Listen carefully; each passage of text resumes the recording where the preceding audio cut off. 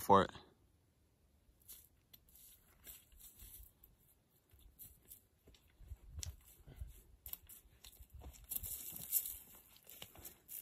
Got the shed we glassed up from up at the top.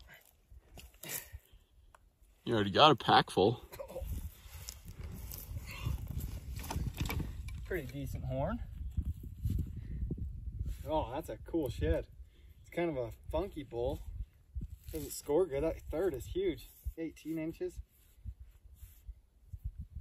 Crappy top end, but that's kind of a cool shed. Little ridge right there. Way pretty burr on that one. Gotta match him up. It's gotta be close. He's an older bull.